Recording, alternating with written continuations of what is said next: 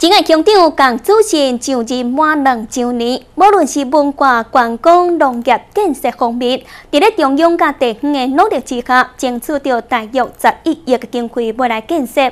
今仔日，仁爱乡公所也伫公所头前的广场来举办市政成果记者会。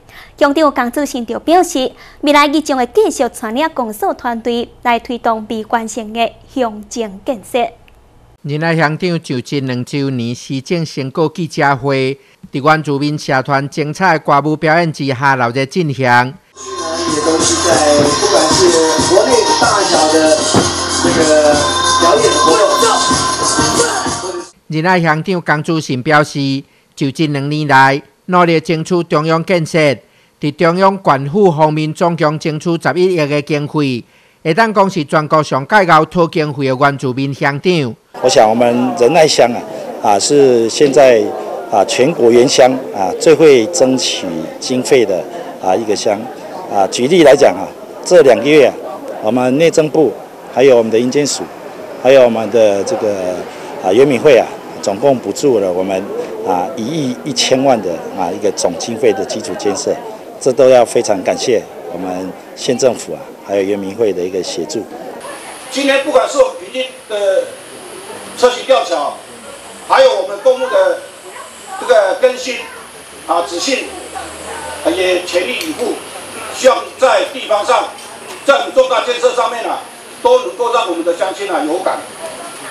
在文化的传承，在这客人运动会，第一届、第二届都在他手上啊举办，而且办到第二届了，啊，这个都是啊一个创创举吧哈。除了基层建设、重大建设的争取以外，伫观光文化的推动，嘛非常的有创意，甲充满活力。啊，原民局啊，啊，在物色呃，在这个啊复兴赏梅地区争取了两千五百万的一个产业发展。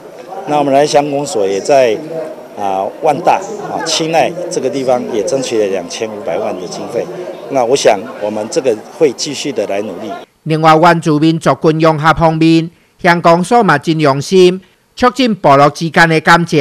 那我想，我们除了布农运、泰雅运啊，已经有多年的一个活动之外，我们去年、今年呢，也举办了赛德克运动会，来呼应我们啊这个族人的一个需求。